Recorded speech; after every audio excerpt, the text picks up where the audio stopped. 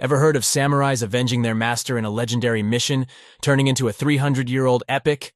Nope, it's not an action movie sequel. It's a real Japanese historical event.